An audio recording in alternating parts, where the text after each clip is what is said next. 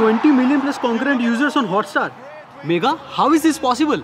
Hey, do you know how Hotstar scales for million of concurrent users? Ah, Akamai, the CDN and the power of internet for developers. Welcome to 50 day series on growing your business with developer relations. Follow Devrel Squad if you want to know more about Devrel, aka developer relations. Akamai did not only focus on getting reliability at scale, but also focused on building developer tools such as APIs, SDKs to have seamless integration, then community engagement and providing community support. And thirdly, they also provided extensive documentation so that developers fall in love with Akamai and use Akamai wherever possible. If you liked Akamai's developer relations story, follow along and stay tuned for GitHub developer relations story story. But if you want to know more on how a CDN works, drop a comment CDN and we will share a document with you and you can read along.